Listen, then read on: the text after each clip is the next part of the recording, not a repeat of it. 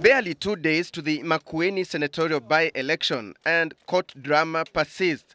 This time round, the Wiper Party chairman David Musila and his lawyers moving to the High Court for an urgent application to have the IEBC compelled to have Mutula Kilonzo Jr.'s name appear on the ballot paper. Wiper also wants the IEBC to abide by last Friday's court ruling that gave the party the green light to have a candidate in the race.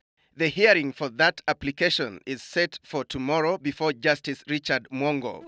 For the integrity of this nation. Former Kibwezi MP Agnes Ndetei Monday filed a notice at the Court of Appeal seeking to challenge the decision to clear Kilonzo Jr. as a candidate on the grounds that the deadline for nominations had been violated.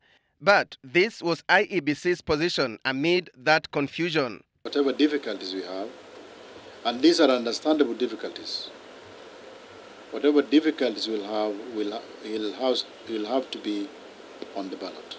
This is after the commissioners reached an agreement not to get entangled again in petitions against Kilonso's candidature, citing the High Court order that Wiper presents a candidate. Earlier in the day, senators supporting Kilonzo's candidature threatened to mobilize Makueni voters to boycott the election should the Wiper candidate's name miss on the ballot paper or be appended as an afterthought.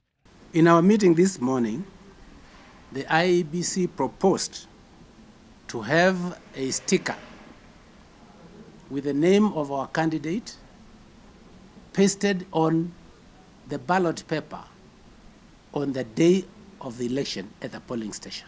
If Mutula Jr. presented or submitted his, his, his, his documentation on Friday, even if this printer was in Iceland, you simply needed to email it.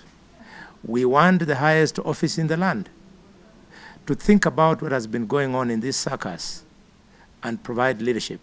Kilonzo was cleared on Saturday morning by the IEBC a day after a three-judge bench barred his sister Kethi Kilonzo from vying on the grounds that she was not a registered voter and was therefore not qualified to vie for the seat.